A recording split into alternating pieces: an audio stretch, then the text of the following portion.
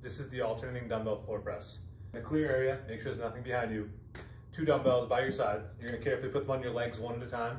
So again, if you're going a little bit heavier or you're stronger, have a buddy, have someone help put them on your legs or hand them to you once you're back.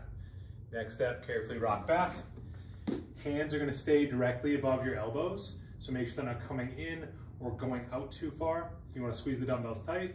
Keep your upper back pressed into the floor. Keep your legs bent with your feet flat to take the pressure off your lower back. Arms should stay around 45 degrees, so not up here at 90, not down by your sides. You wanna have them in between 45 degrees. Start with one dumbbell up, and the other arm's gonna rest on the floor, and we're gonna switch at the same time. So simultaneously switch as the one weight comes down, the other one drives up. Try to breathe out as you press, especially if it's a little bit heavier, but you wanna make sure you bring the weight down with control so you don't hurt your wrist or your elbow pausing on the ground. You should have a little bit of that give and go action as you're pressing through. And make sure you don't lock your arm all the way out. You wanna keep the tension on your chest, on your tricep. And when you're done, carefully dismount, roll the weights away, make sure you have a cushion ground as you do that. Don't hit anybody, don't hit anything.